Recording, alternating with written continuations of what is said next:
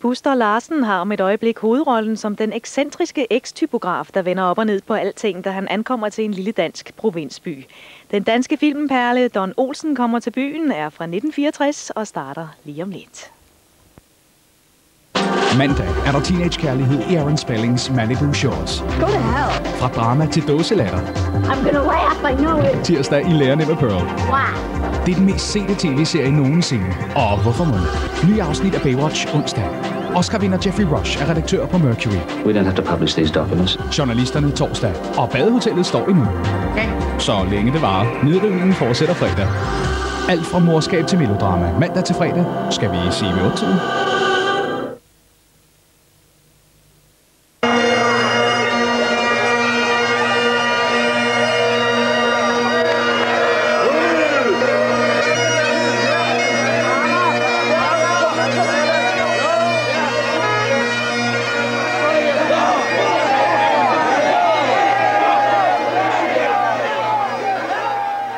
Nogen har opdaget, at McDonald's i Danmark har sænket priserne.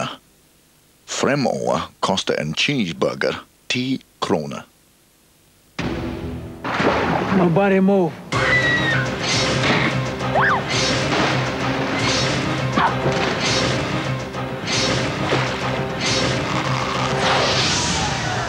Anaconda. When you can't breathe, you can't scream.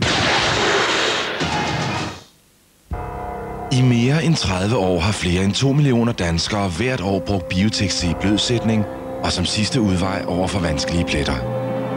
Nu er der også biotex til maskinen. Fra 30 til 95 grader vasker ny biotex nænsomt rent med aktive biologiske enzymer. Biotex maskinvask fås som kompakt pulver og flydende. Ny rød biotex. Effektiv maskinvask. Ganske enkelt. Nå, Benny. Hvad nu det?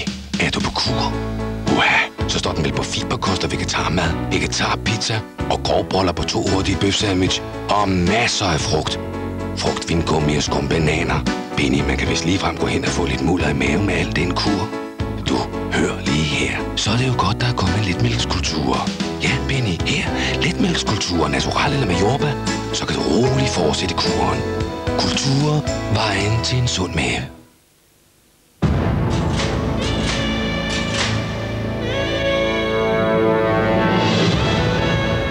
Buster Larsen, Dirk Passer og Bodil Utsen er hovedkræfterne i aftenens dejlige danske folkekomedie Don Olsen kommer til byen.